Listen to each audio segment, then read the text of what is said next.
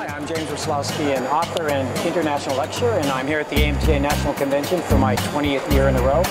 Um, but I'm really excited to branching into Canada, and I would like to invite everybody to come to Burlington uh, for the Canadian Massage Conference. It's going to be an awesome experience. I'm excited to say that we're talking about, I think, one of the greatest trends out there right now called multiple crush phenomenon.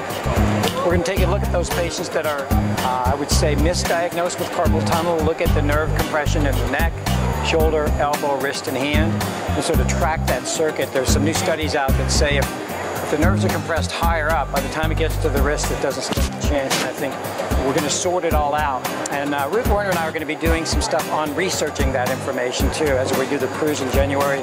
Uh, so when I get to Canada, we'll have all of that validated by clinical studies, case studies, case reports. Uh, so please join us in Canada, in Burlington, for the Canadian Massage Conference.